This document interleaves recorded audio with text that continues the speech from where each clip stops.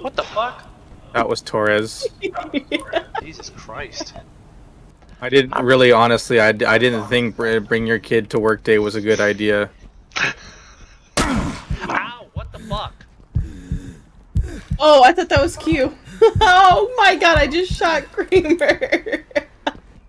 Yo, I already got jacket warnings, shoot me. guys. I wasn't the person to bring. Don't shoot me. Holy.